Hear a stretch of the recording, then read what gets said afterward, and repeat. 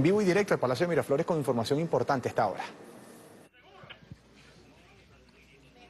Estamos en vivo y directo desde el Palacio de Miraflores, desde eh, la sala de prensa Simón Bolívar, a la espera del presidente de la República Bolivariana de Venezuela, Nicolás Maduro Moros, que el día de hoy va a mantener una reunión con representantes y directivos de los medios de comunicación privados, públicos y de el área impresa y audiovisual, como parte del llamado que ha hecho a todos los sectores de la sociedad venezolana, con el propósito de aportar ideas para trabajar conjuntamente en el sistema de gobierno para el 2019-2025, como podemos apreciar a esta hora desde el Palacio de Gobierno. Faltan ya pocos minutos para esta actividad, como ya hemos dicho, enmarcada en el proceso de conciliación y diálogo nacional que ha convocado el primer mandatario nacional Nicolás Maduro. Debemos destacar que son más de 20 medios de comunicación que se encuentran presentes el día de hoy. Hasta ahora, como podemos apreciar, ya el presidente constitucional de la República Bolivariana de Venezuela, Nicolás Maduro Moros, acaba de salir del despacho número uno en compañía del ministro del Poder Popular para la Comunicación e Información, Jorge Rodríguez, para atender esta importante actividad, como ya hemos comentado, enmarcada en este proceso del gran diálogo nacional convocado por el jefe de Estado. Ya en pocos minutos, como hemos anunciado, estará haciendo acto de presencia en la sala de prensa Simón Bolívar. Destacar la participación de algunos de los representantes que se encuentran el día de hoy en este recinto.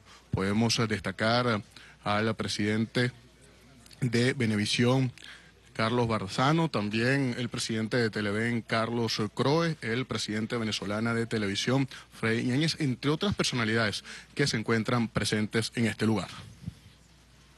Destacar también que eh, están presentes representantes de eh, sistema de radio nacional, privado y público. A esta hora, bueno, siendo acto Hace acto de presencia en la sala de prensa Simón Bolívar del Palacio de Miraflores, el ciudadano Nicolás Maduro Moros, presidente constitucional de la República Bolivariana de Venezuela, con motivo a la reunión con representantes de los medios de comunicación públicos y privados del país.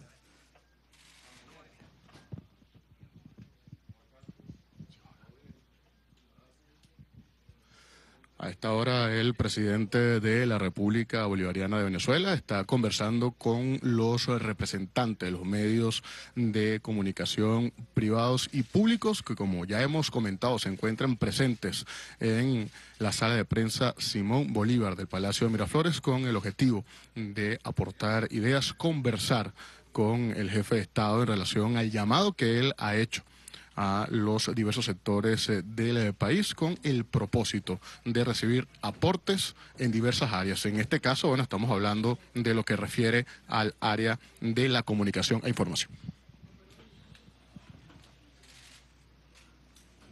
buenas tardes ya. La 1 y 5 de la tarde. Imagino que ya almorzaron todos, ¿verdad? Están robustos. bueno, bienvenidos aquí a la sala de prensa Simón Bolívar del Palacio de Miraflores. Me alegra mucho saludarlos a todos, a todas, presidentes y directores de medios de comunicación televisivo y de prensa de todo el país. Esta reunión, una reunión muy necesaria para todo lo que tiene que ver con el diálogo y la paz. Diálogo permanente y profundo sobre todos los temas del país, donde los medios de comunicación juegan un papel vital para todo el proceso de la dinámica del diálogo. Yo he venido planteando, como ustedes han recogido muy bien, un diálogo permanente de toda la sociedad, de todos los sectores, políticos, culturales, económicos, comunicacionales, de todo un país, de todo un pueblo. El método dialogante como método de gobierno, como método de interacción permanente, para que el país vaya gestando sus propias soluciones. Método dialogante para gestar soluciones, respuestas, entre todos y entre todas, a los grandes problemas y a los grandes asuntos del desarrollo sobre todo. El tema de la paz yo lo sigo colocando como tema de primer orden, la paz, la paz política, la paz social. Y siempre agrego la paz con igualdad, la paz con derechos sociales para el pueblo. Es una paz que se construye y que depende de todos y de todas y que es un requisito único para poder abordar cualquier tema que tenga que ver con el desarrollo del país, la solución de los problemas, sobre todo los problemas más graves que tenemos a nivel económico, la paz. Un gran compromiso de paz, construido entre todos. Vengo insistiendo en la idea y creo profundamente en la marcha de un conjunto de acciones, en la activación de un conjunto de medidas para acercar todos los sectores políticos del país. Sobre todo después de el ciclo electoral que hemos cumplido. ciclo electoral, pudiéramos decir, de nueve meses y medio, de diez meses ciclo electoral único, impensado hace un año por cualquiera. Si cualquiera de nosotros que está aquí presente o que nos ven, hace un año le hubiéramos contado, valga la expresión, este cuento, hubiera creído que era una fábula. ¿Mm? Cualquiera de nosotros. Pero se ha cumplido un ciclo electoral como estábamos obligados como estábamos obligados. Nadie puede tratar de predeterminar los ciclos electorales de un país, y menos en Venezuela, a sus resultados. Cada quien busca sus mejores resultados, de acuerdo a las circunstancias, las condiciones que les toque vivir. Pero los ciclos electorales son ciclos electorales. Ya no tenemos más elecciones de aquí, pareciera, hasta el 2020, que toca el ciclo de renovación del Poder Legislativo de la Asamblea Nacional.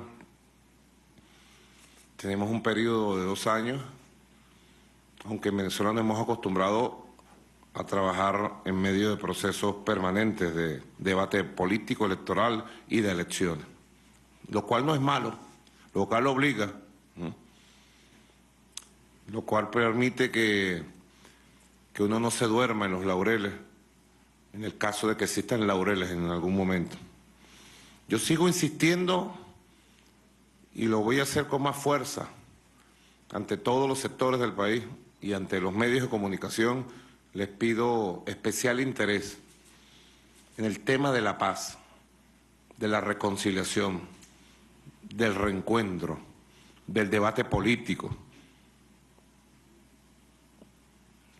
en el tema de la negación definitiva y absoluta de cualquier vía no constitucional o de cualquier tipo de violencia para hacer política en el país.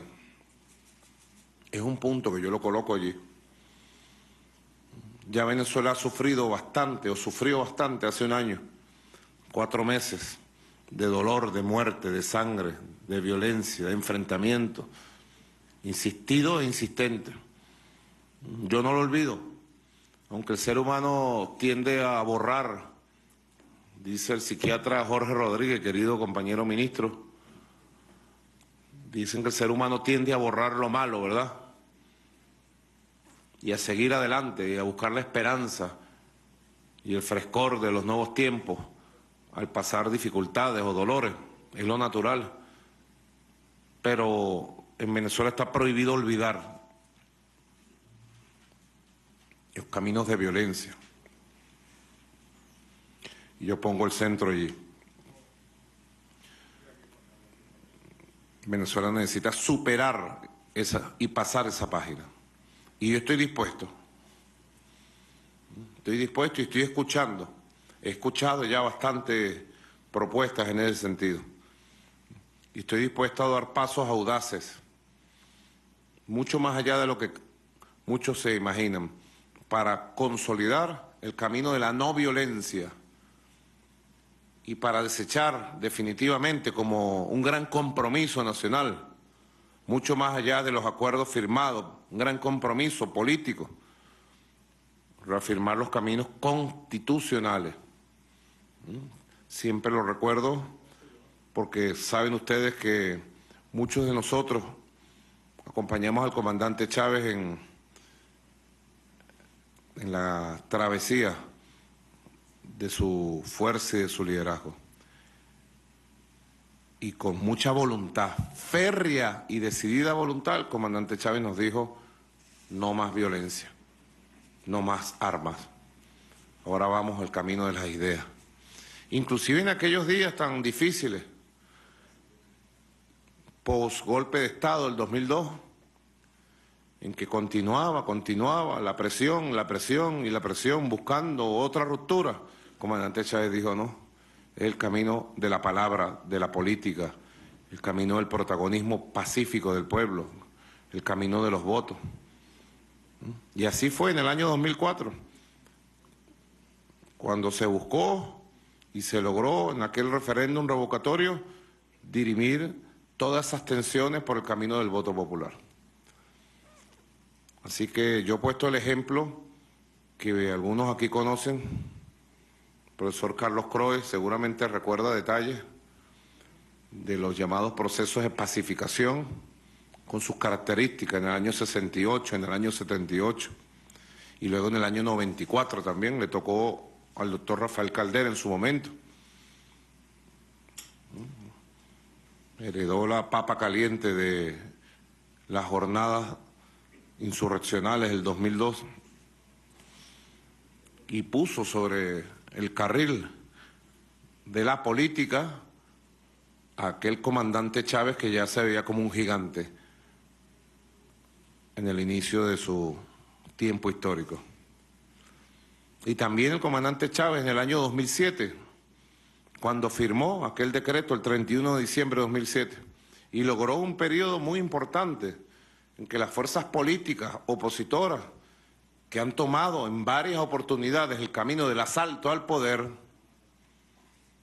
utilizando los mecanismos políticos y legales de la democracia para acumular fuerza y buscar el asalto al poder, logró encaminarlas durante todo ese periodo 2008-2013.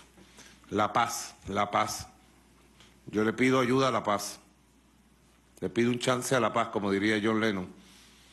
A ustedes, la paz hablar de la paz, hacer la paz, creer en la paz, abrirle caminos a la paz. Cerrarle todas las puertas, todos los portones de la vida histórica del país a cualquier camino fuera de la Constitución, a cualquier camino vinculado a la violencia.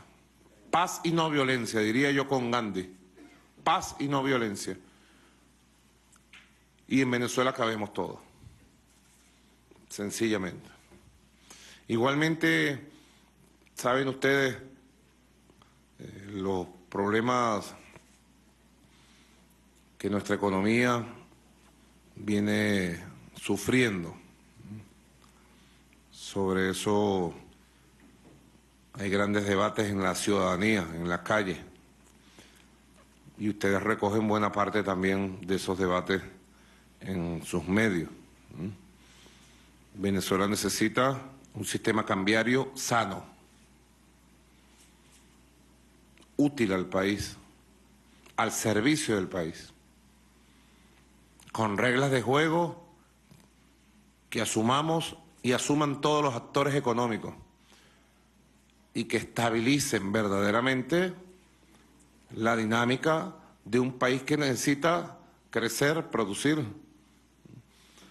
Sobre esos temas, yo estoy escuchando propuestas que enriquezcan medidas que hay que seguir implementando, hay que implementar sobre la necesidad de un sistema cambiario post-petrolero, que no esté en manos de los especuladores, de los ladrones. Imagínense ustedes un país en manos de quienes inventan cuentas, de los quienes crean mecanismos para robar al empresario, para robar a la clase media, para especular fuera de la ley y desmedidamente, abusivamente, criminalmente con el precio de la moneda. Yo lo he llamado guerra económica y es guerra económica. De los que creen que por esa vía acabarán con la posibilidad de la estabilidad económica y por la vía de la desestabilización económica lograrán sus objetivos económicos, políticos, de ponerle las manos al poder en Venezuela. Es la gran tarea en este momento crear el sistema que estabilice el funcionamiento cambiario en Venezuela. No será de la noche a la mañana, pero tiene que haber destellos de funcionamiento útil para el país. Igual todos los temas que tienen que ver con los sistemas de comercialización y precios del país perturbados por mecanismos de guerra económica que disparan la especulación de los precios en los bienes y servicios fundamentales del pueblo. Si nosotros no tuviéramos un sistema de protección social, de seguridad social, si no tuviéramos el sistema de los CLAP y muchos otros sistemas de atención al pueblo, hubieran llevado la situación a un nivel de gravedad inmanejable, inmanejable. Venezuela necesita, y así lo vamos a hacer, un nuevo sistema que respete los derechos del pueblo y que estabilice el acceso a bienes y servicios de manera constante y permanente.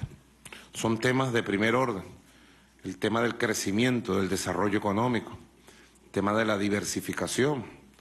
En Venezuela estamos todos. Si a Venezuela le va bien y está estable, creo que es la felicidad común, compartida más allá de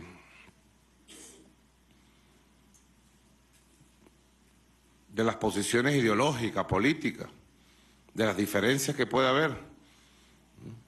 Si Venezuela está estable y Venezuela toma el rumbo del crecimiento, de la estabilidad, del desarrollo, y a Venezuela le va bien, nos va bien a todos. Yo se lo he insistido no sé cuántas veces a quienes vienen del mundo a hablar, a los que vienen en público, a los que vienen en privado, a los que vienen de Europa, a los que vienen de Estados Unidos, a los que vienen de América Latina, a los que vienen del Asia, a todo el que viene a Venezuela, al que se toma la foto, al que no se toma la foto, a todos le he insistido. El camino de la destrucción de Venezuela no es el camino para el ascenso al poder de ninguna corriente política. No lo es, no lo será, no lo ha sido, no lo ha sido. El camino de los que aspiran aspiran a ascender a la política es el camino de construir alternativas. Alternativas. Que superen lo existente. Ese es el camino, la construcción de alternativas. No la, el bloqueo del país. Ese es un tercer punto que también me gustaría insistir, la necesidad de la defensa del país. Hay quienes creen que mientras más agresiones se consigan del exterior, mientras más sanciones firmen el presidente Trump en los Estados Unidos, más acorralada está la revolución bolivariana, más atemorizada está la revolución bolivariana, más lista para la rendición. No nos conocen. Los que estamos aquí sí nos conocemos muy bien y sabemos de lo que somos capaces y de lo que no. Tiene que ser, y así lo pido, y así lo creo, una sola voz Venezuela para defender los intereses de nuestro país y para rechazar agresiones, amenazas, sanciones, que no son contra Nicolás Maduro, son contra todo un país. Conozco gente de grandes recursos económicos, no precisamente bolivarianos o chavistas, ¿no? Que ahora para viajar por el mundo, manejar cuentas, hacer transacciones, bueno, le cuesta a Dios y su ayuda, porque las sanciones van ocupando los espacios hasta que llegan a todos. Campaña antivenezolana que dirigen desde Miami, desde Bogotá. Venezuela tiene que cerrar filas, toda Venezuela, en defensa de nuestra identidad, de nuestra dignidad, de nuestro derecho a vivir, a existir. Esas sanciones además de ilegales desde el punto de vista del derecho internacional, son inmorales, son injustas y van contra un país entero. Y no tienen explicación porque quiere, quiere hacer política. Para tomar el poder político en Venezuela se tiene que hacer, se tiene que venir a hacer política en los barrios, en las comunidades, en las calles, en los pueblos, y no desde Washington, aupando sanciones y daños a nuestro petróleo, a nuestra economía, a nuestras empresas, a nuestras finanzas públicas, lo cual añade más dificultades, más sufrimiento y más dolor. Nosotros, yo no oculto nada frente al pueblo, porque el pueblo necesita estar muy bien informado de las verdades. Pero sin lugar a dudas, todas las sanciones, amenazas, la persecución financiera contra la vida económica del país, lo que trae es dificultades y sufrimiento. Y para nosotros trae grandes retos para abrir oportunidades, caminos, para romper bloqueos y romper sanciones. Grandes retos. Nuevas ingenierías financieras que hemos tenido que ir creando, inventando, que seguiremos articulando con creatividad, con audacia, con capacidad y con el apoyo del mundo emergente que afortunadamente hoy por hoy existe. Defendamos a Venezuela, que cada quien utilice la voz que tiene, la fuerza que tiene, el poder que tiene para defender a Venezuela. Los problemas de Venezuela son solo incumbencia nuestra y deben ser resueltos por las vías democráticas, por los propios venezolanos y las venezolanas. ¿Qué pretenden quienes sancionan y amenazan y declaran de manera permanente que nuestro país se rinda al gobierno extranjero? Que nuestro país se ponga de rodillas y entregue sus riquezas. ¿A quién se las entregamos? ¿A quién le entregamos el poder? Es un gran momento para el debate de la verdad, más allá de las ideologías. Como aquel tiempo que el gran Cipriano Castro en su proclama habló de la planta insolente del extranjero. Sí, la sanción insolente del extranjero pretende dañar la patria.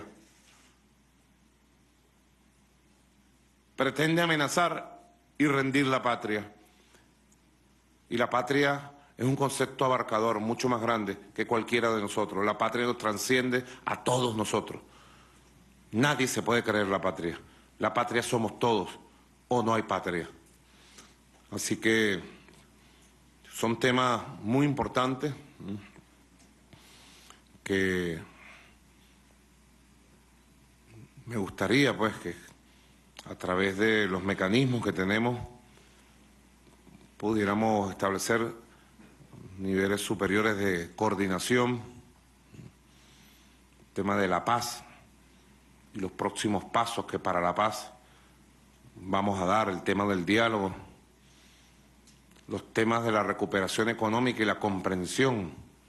Mm, tengo una reunión ahora con la Asociación Bancaria de Venezuela, me enviaron una carta con un conjunto de propuestas y creí necesario convocarlos para una reunión dentro de una hora aproximadamente para escuchar todas sus propuestas. Se ha activado una dinámica de, de nuevas formas de diálogo que creo que es muy exigente pero muy necesaria. Todas las decisiones que vayan surgiendo de esas reuniones es muy importante asimilarlas y multiplicarlas en la comunicación. Y el tema de la defensa de Venezuela, tres puntos claves que creo que pueden unir un esfuerzo común. El diálogo, la paz, la recuperación económica y la defensa de nuestro país y su derecho al desarrollo. El derecho común al desarrollo. ¿Mm? Hay un conjunto de temas que me explicaba también el ministro Jorge Rodríguez, que como siempre están pendientes en la dinámica con las televisoras, las radios, con la prensa escrita y siempre más allá de las limitaciones financieras que tenemos producto de las sanciones, mucho más allá siempre estoy en la disposición de atender, de resolver de la mejor manera. Les agradezco mucho su presencia. Me dicen que pudiéramos escuchar tres palabras de presidentes de, medios públicos, privados, y me encantaría poder, poder escuchar buena parte de las reflexiones que ustedes traen. Les agradezco mucho que hayan atendido este llamado. Me alegra mucho ver caras muy conocidas de tantos años ya. El camino se va haciendo largo y me siento complacido de que ustedes hayan atendido este llamado para esta conversación, para esta continuación, para este relanzamiento de un diálogo permanente con los medios de comunicación públicos y privados y que los medios de verdad sigan sirviendo de punto necesario para una sociedad democrática, abierta, libre, participativa. Es así. Mucha gente que viene del exterior, mucha gente de la que viene del exterior, siempre viene con la idea de conseguir un país en guerra, de violencia, de harapientos, de mendigos. Yo siempre le digo lo mismo a todos hablen inglés, francés, portugués o el idioma que hablen. Digo, salgan a las calles, caminen por donde quieran, tomen un mapa de la ciudad que quieran, pongan un punto y váyanse a ese punto. Hablen con quien tengan que hablar. Vean los medios de comunicación y después hablamos. Y siempre me sucede que a los dos, tres días, al volver a encontrarme con este personaje o estos visitantes, ya, bueno, los ha captado la maravilla de Venezuela y siempre vienen conmovidos de ver la diferencia entre la Venezuela de la campaña mediática, la Venezuela negativa de la campaña sucia permanente y la Venezuela de la verdad. No es que la Venezuela de la verdad no tenga problemas, no los tiene, pero por encima de los problemas tiene algo muy grande, un pueblo hermoso. Todos los que estamos aquí reconocemos en nuestro pueblo un pueblo hermoso, lleno de valores, siempre con una sonrisa. Ese es el pueblo que yo quiero que cultivemos, que podamos cultivar, el pueblo hermoso, el pueblo valiente. Y en una vida democrática, de libre pensamiento y acción, ustedes puedan seguir haciendo su trabajo. Y ojalá cada vez con mayor nivel de coordinación en el hablar, en el oír, en el diálogo permanente. Bienvenidos nuevamente. Me dicen que, doctor Jorge Rodríguez. Ah, bueno, bienvenido. Carlos Bardazano, presidente de Benevisión, bienvenido. Muchas gracias, presidente. Bueno, todos tenemos que estar de acuerdo con la paz y indudablemente que tenemos por delante un tema económico que creo que, que hay que acometer y, creo que todos estamos esperando unas anunciadas medidas que, el presidente va a decir. De todas maneras, también por la facilidad de palabra de, Winston, quedamos en que Winston iba a, a expresar el nombre de los canales. Gracias, Carlos. Bueno, mi respeto, mi cariño, mi saludo para todos los amigos, amigas, compañeros, hermanos, hermanas de los distintos medios de comunicación. Han sido tiempos difíciles, sin duda alguna, eh, los que hemos vivido todos los venezolanos y venezolanas. Eh, las dificultades, la crisis, el asedio al cual ha sido víctima nuestra patria Venezuela nos ha llevado a un nivel de conciencia superior a aquellos que amamos, queremos, respetamos y estamos dispuestos a proteger y defender a nuestra bella Venezuela. Eh, mis hijos nacieron en este país. Seguramente me están viendo en casa. Mi hijo Winston Alexander, mi hijo Winston Esteban, besos para ellos, mis hijos pequeños. Y eso me compromete mucho más a trabajar por Venezuela en conjunto. Creo en lo que usted ha indicado, en que solo juntos es posible reconstruir a Venezuela. Hay que entender, porque mucha gente, por la hegemonía mediática de los medios y de las transnacionales, eh, tienden siempre a satanizar la gran labor que ha hecho eh, usted en su primer periodo, uno de los periodos más atacados en la historia política de Venezuela y que gracias a Dios y a ese pueblo valiente, heroico, victorioso, eh, Venezuela definitivamente se ha convertido en, los reyes de la democracia.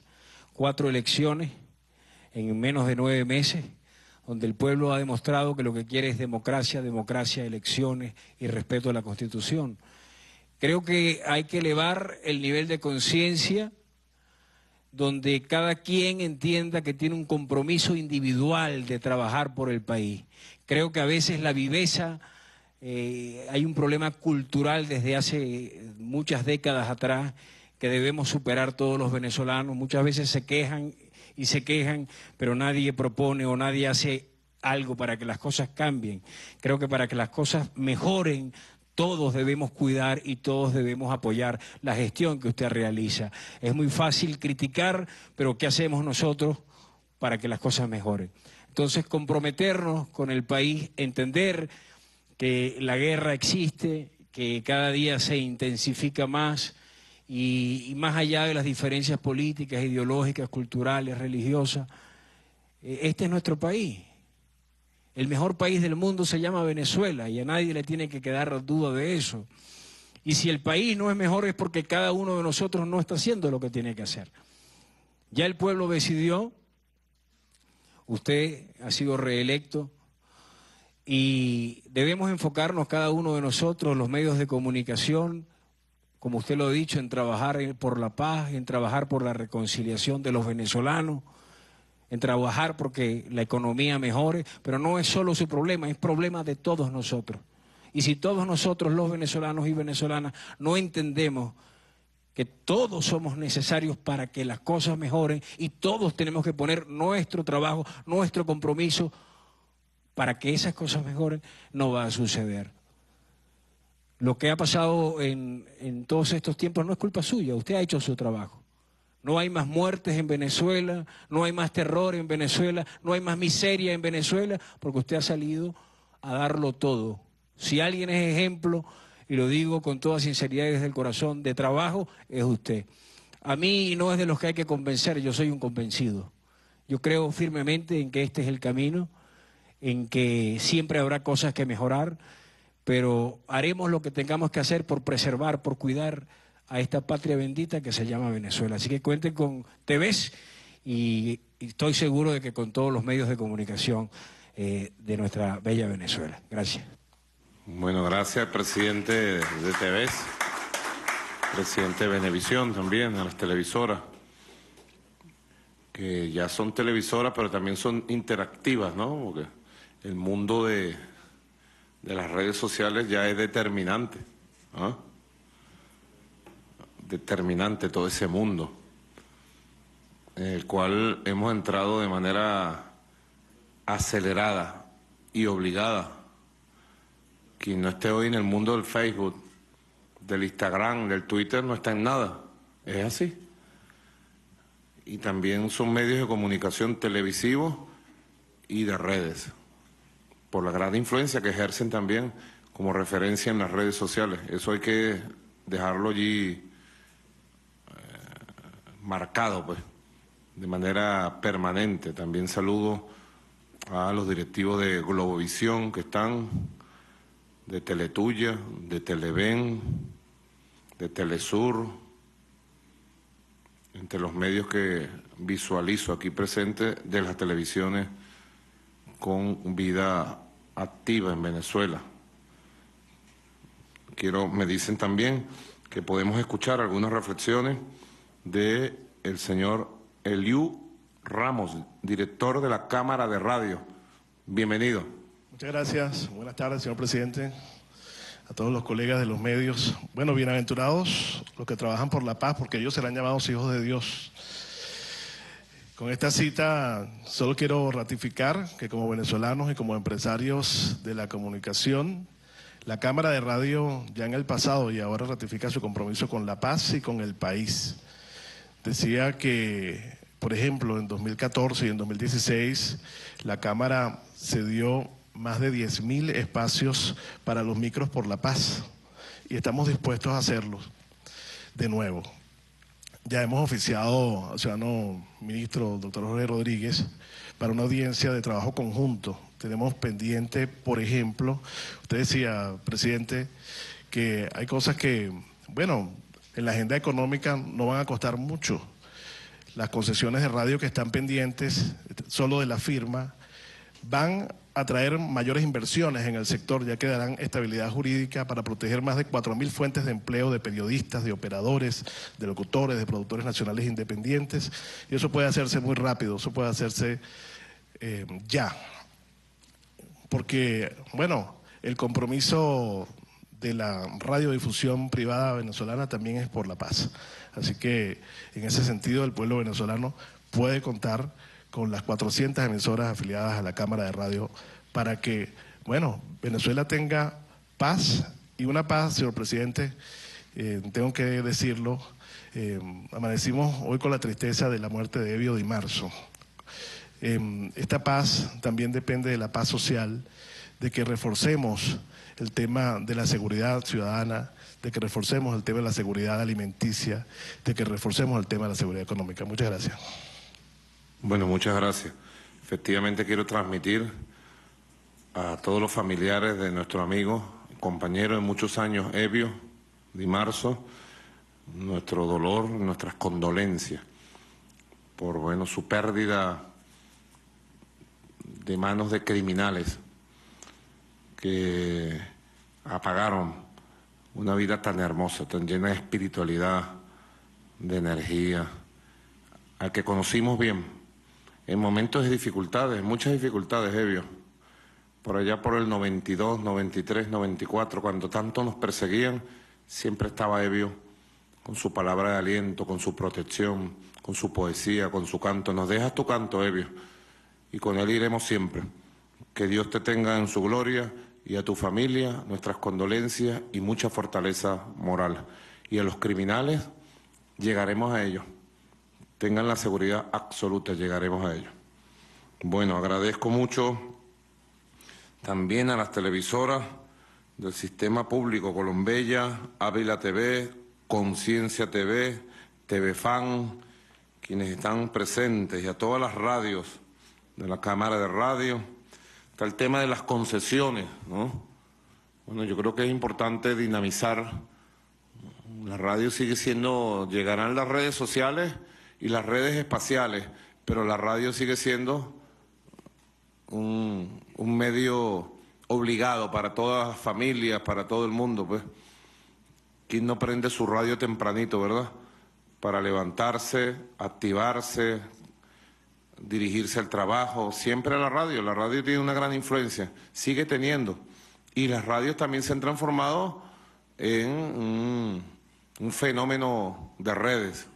¿m? Con Internet y con las redes sociales todo cambió. Los medios llamados tradicionales también han entrado en el mundo, en el mundo de las redes sociales. Bueno, también me dicen que tenemos un saludo, unas reflexiones de la presidenta de Telesur, Patricia Villegas. Bienvenido, adelante. Muchas gracias, presidente. Buenas tardes para todos y para todas. Yo quisiera en estos minutos que me conceden compartir un poco de la reflexión mía como colombiana y ya hace 13 años en Venezuela. Cuando los colombianos y las colombianas, entre otras cosas, eh, logramos firmar un acuerdo de paz por el apoyo de Venezuela y de Cuba y otros países latinoamericanos en ese proceso, empezamos a conocer realmente cuál había sido el rol de distintos actores de nuestra sociedad en nuestra guerra. Y un rol fundamental en la guerra de Colombia la han jugado los medios de comunicación.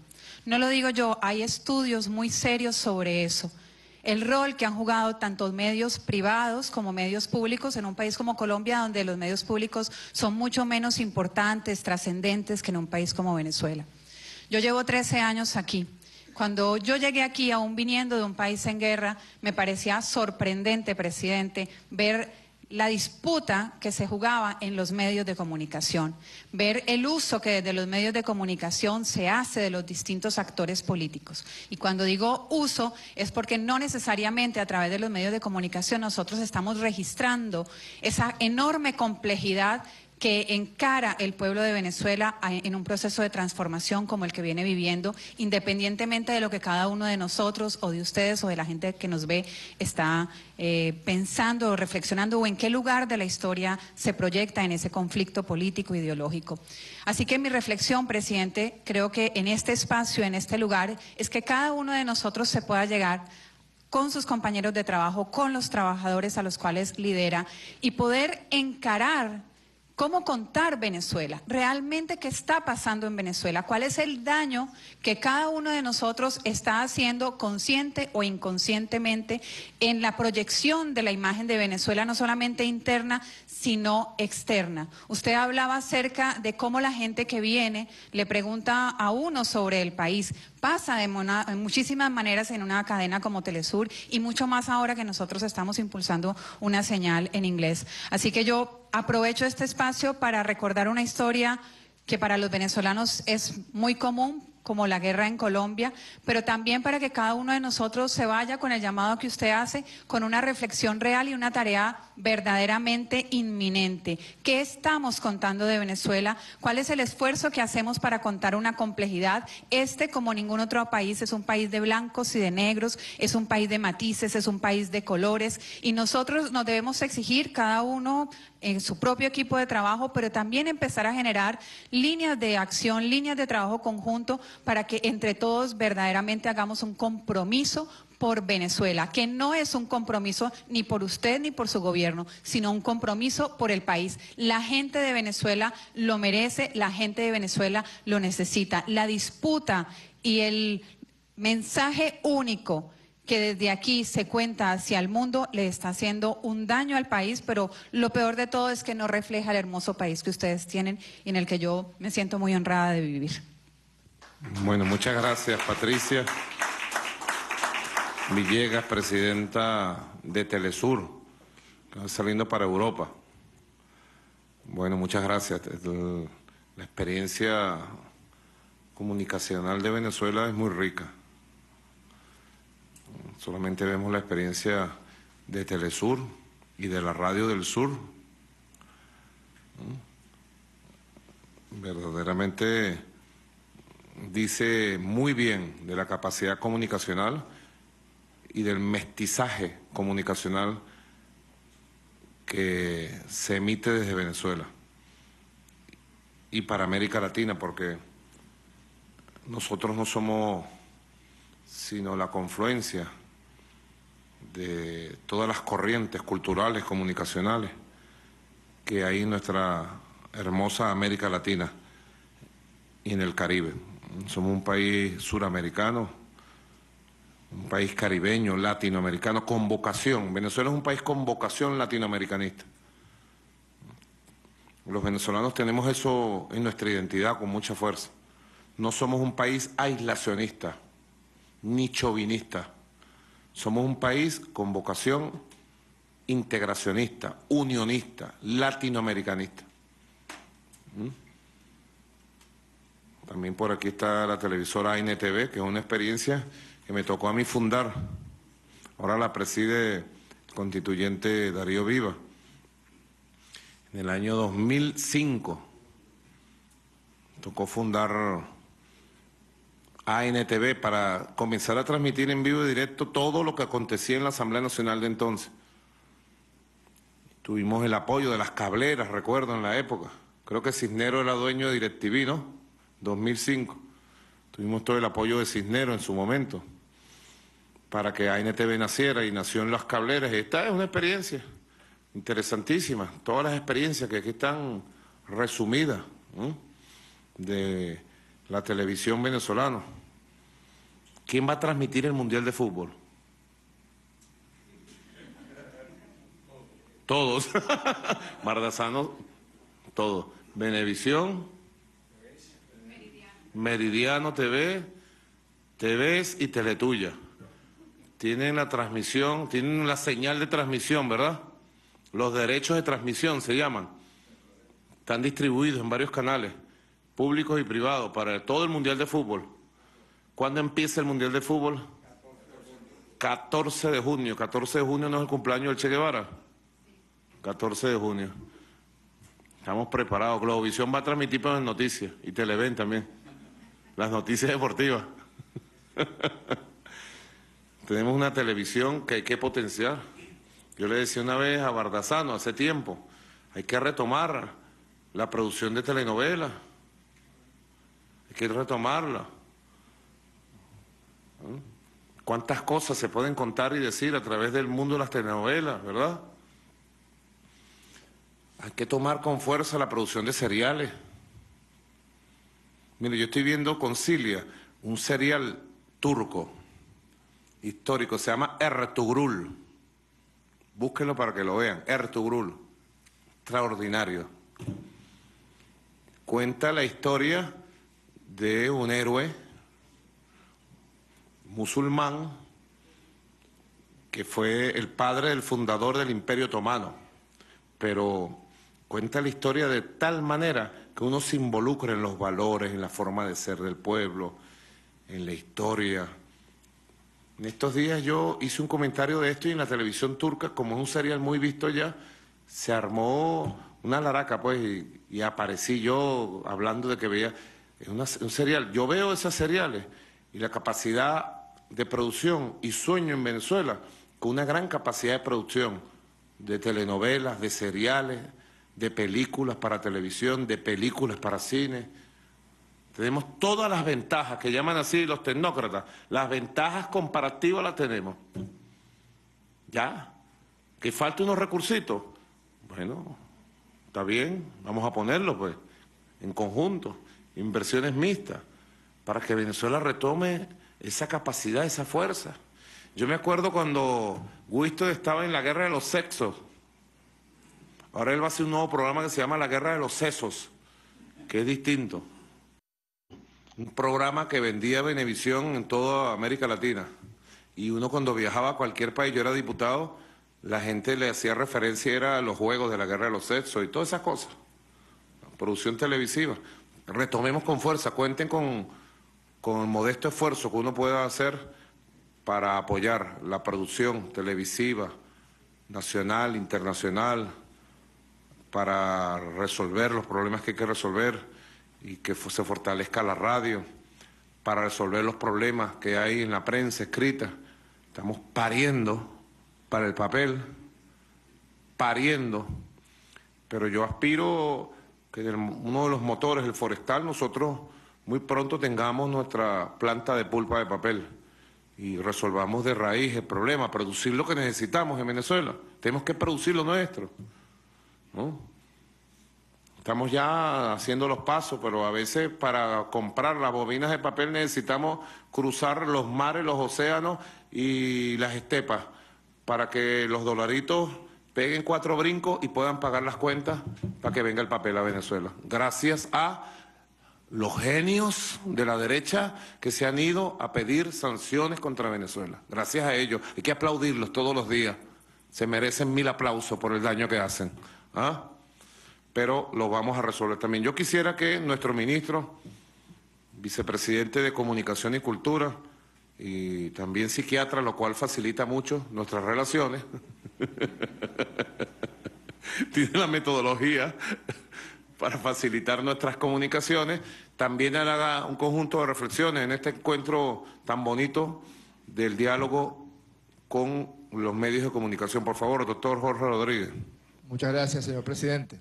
Viendo el nivel de profundidad de este encuentro, recordaba que hace exactamente un año Venezuela estaba sumida en la angustia, en la zozobra, en el llanto de la acción de la violencia política. Y como usted bien decía al comienzo, es un salto abismal respecto a lo que usted ha denominado un nuevo comienzo, un nuevo comienzo donde se encuentren las mujeres y hombres de paz. Escucho las reflexiones de los medios privados, de los medios públicos, de los medios impresos, radiofónicos o televisivos y creo que es muy auspicioso que todos estemos empujando en la misma dirección. Sé que se presentan dificultades, temprano conversé con usted acerca de esas necesidades que han planteado en varias oportunidades los distintos representantes de los medios de comunicación públicos y privados y usted de inmediato tuvo respuesta a situaciones como la habilitación de las emisoras de radio y televisión que usted comisionó a nuestro ministro del despacho y presidente de Conatel, Jorge Márquez, y a mi persona para que de manera perentoria se resuelvan todos estos asuntos de habilitación. Buena noticia para Globovisión, para Venevisión, para emisoras de radio que también están en esa situación. Por otra parte, tenemos la situación que usted menciona sobre el papel. Hemos hecho esfuerzos denodados para adquirir el papel, pero la solución definitiva tiene que ver con la producción nacional de papel para dejar de depender de las acciones groseras contra la patria venezolana. Y eh, por último, hay un tema concreto de seguridad acerca del equipamiento que está distribuido a nivel nacional, en materia de antenas, de equipos. Sobre todo sufren mucho las emisoras de radio AM, porque uno de los componentes de esos equipos es cobre y es sujeto a la acción criminal, y usted dio la orden para que junto al ministro Reverol se establezca una acción especial de protección de los equipos de todas las emisoras de radio y televisión del país, presidente. Efectivamente, y encargo al ministro Jorge Rodríguez en sus múltiples responsabilidades de garantizar que esas medidas de seguridad eh, funcionen lo más importante, funcione. Sobre el tema del papel yo les hago una propuesta y comisiono al ministro Jorge Rodríguez. Nosotros estamos montando una planta de, en el sur. Yo les hago una propuesta, vamos en la sociedad, 60-40, o 51-49 si quieren, o 50-50, como la quieran pues. Vamos en sociedad y todos se involucran en la construcción, instalación, administración y feliz desarrollo de esa planta de papel. El Estado no tiene por qué ser dueño de esa planta ni de todas las plantas. Nos podemos asociar, lo importante es que el papel salga. ¿Cuál es el objetivo? Que haya papel. ¿Verdad? Y nos liberemos de la dependencia en las importaciones. Tomen un avión, váyanse al sitio, vean si las maquinarias ya fueron despejadas, si se hizo el movimiento de tierra y si está avanzando, como me dijeron en un informe eh, preliminar sobre esta planta de papel.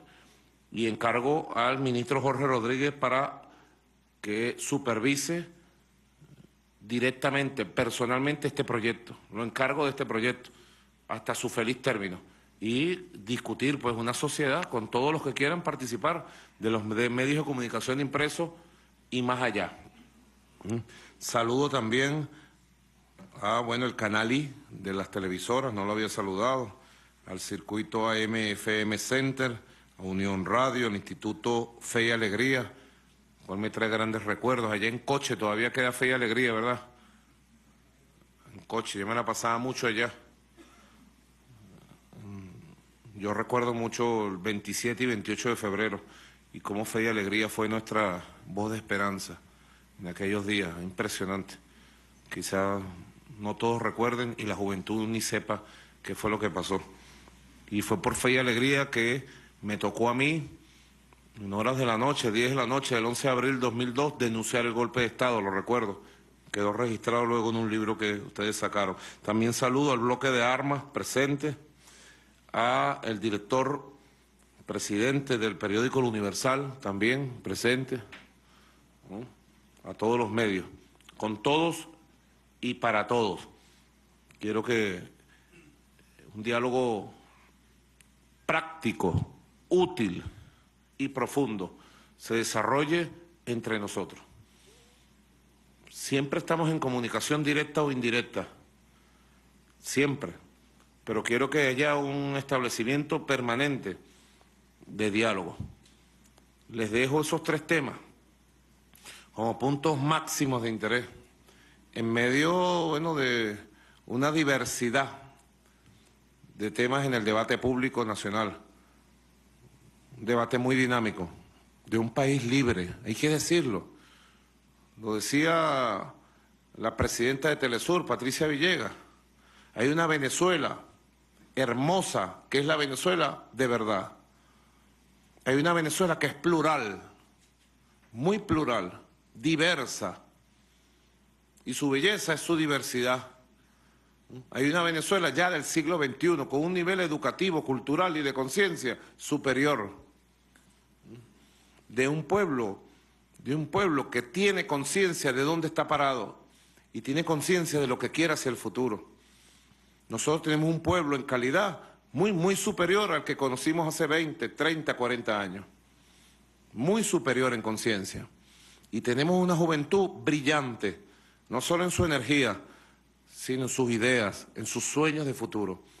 Esa juventud merece más de nosotros, mucho más de nosotros. Y que esta Venezuela plural, diversa, libre, democrática se conozca. Yo siento indignación cuando se dice que en Venezuela hay una dictadura. No porque me digan dictador a mí, a mí no me importa, se lo juro. Que me digan dictador quien quiera, donde quiera, yo lo combatiré con mis ideas, con la verdad. Pero sí me indigna mucho que se le diga que ustedes son vasallos de una dictadura. Y que el pueblo venezolano, bueno, es un pueblo dominado por una dictadura. A este pueblo no lo domina nadie. Es un pueblo lleno de rebeldía y de coraje. Es un pueblo que solo se puede establecer en esta parte del territorio suramericano si se establece con su fuerza y si se le respeta su ser. Y el ser profundo del pueblo venezolano es que es un pueblo rebelde, libre, libre. Díganme ustedes si es posible callarle la boca al pueblo cuando tiene una verdad que decir. Imposible, nadie lo lograría.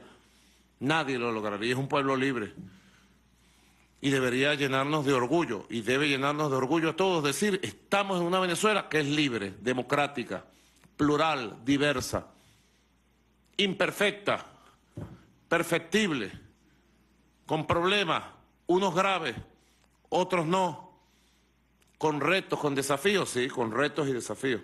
Yo los invito a que los retos y desafíos sean de todos. Y ojalá las soluciones también sean para todos.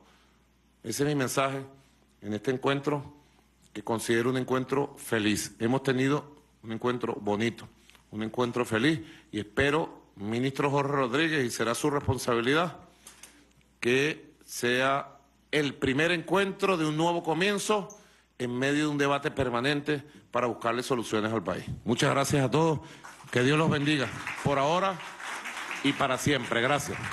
Escuchábamos palabras del presidente constitucional de la República Bolivariana de Venezuela, Nicolás Maduro Moros, quien ha culminado este encuentro con representantes de los medios de comunicación públicos y privados en el marco del llamado que ha hecho a todos los sectores eh, del país con el objetivo de buscar un gran concilio nacional. A esta hora el primer mandatario nacional conversa con algunos representantes de medios, entre ellos Carlos Bardazano, presidente de Benevisión, también con Winston Vallenilla, quien es presidente de TVS. En estos momentos continúa conversando con otras de las personalidades y representantes de medios de comunicación que han acudido a esta importante actividad, la cual ha sido calificada como exitosa y próspera por parte del jefe de Estado. Conversa también con Esteban Trapielo, presidente de la Tele Tuya. Destacar que durante esta actividad el presidente de la República Nicolás Maduro dio ah, importantes anuncios en relación a lo que significa este importante proceso de encuentro para los venezolanos y las venezolanas. Hablaba de tres líneas estratégicas que deben ser fundamentadas a través de los medios de comunicación nacionales, lo que es en referencia a la paz, lo que es en referencia al Gran Concilio Nacional y la defensa de la República Bolivariana de Venezuela entre todos y todas. Destacar lo que fue la participación durante este encuentro de algunos representantes de los medios de comunicación, palabras que vale la pena destacar. Winston Vallenilla, presidente de TVS, destacaba, es muy fácil criticar, creo que debemos unirnos para defender al mejor país del mundo. Cada medio de comunicación debe trabajar para que la paz se garantice y la prosperidad del país sea la más amplia. Otro de los representantes de los medios de comunicación que nosotros pudimos escuchar fueron las palabras de Liu Ramo, representante de la Cámara Venezolana de la Radiodifusión. Destacó lo siguiente, ratificamos nuestro compromiso por la paz, hemos oficiado una agenda conjunta para trabajar por ese objetivo. El compromiso de la radio es por la paz. 400 emisoras afiliadas para este objetivo ya están dispuestas para trabajar tal cual como lo hicimos en el año 2016 y en el año 2014. Destacar lo que fue también un proceso en el cual todos los representantes de los medios de comunicación presentes pudieron dar aportes significativos, a lo cual estarán pendientes otras reuniones en el marco del diálogo por la paz y el Gran Concilio Nacional. Con esta información retornamos nuevamente al pase a los estudios. Adelante.